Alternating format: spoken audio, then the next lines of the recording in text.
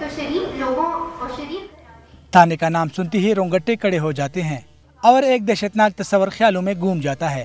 खैबर पख्तनख्वा की नई हुकूमत इसी ताना कल्चर की तब्दीली चाहती है। पिशावर में गैर मुल्की इदारे के तावन से एक वर्कशॉप का अहतमाम किया गया, जिसमें सियासतदान, वकला और खुद पुलिस हुकाम भी सर जोड़कर बैठे और इस तब्दीली की गाइडलाइन तरतीब देने की कोशिश की। अख्ताम से पहले वजह परवेज खटक भी इजहारी हाल के लिए आए और बताया कि आम आदमी की तरह वो भी ताने जाने से डरते हैं। वजह ने भी बसी का इजहार भी किया और कहा कि एक माह से सिस्टम की तब्दीली की कोशिश कर रहा हूँ लेकिन कोई भी तब्दील होने को तैयार नहीं।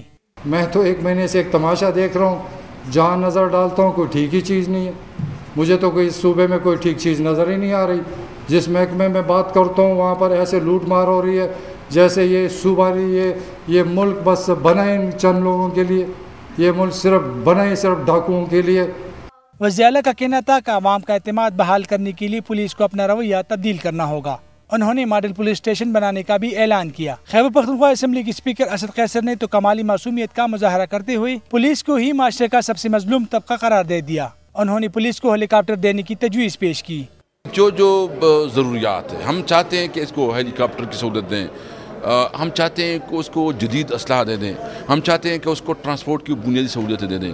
उसकी रिहाइश उसकी ड्यूटियाँ, उसकी सैलरीज सब पे काम करें।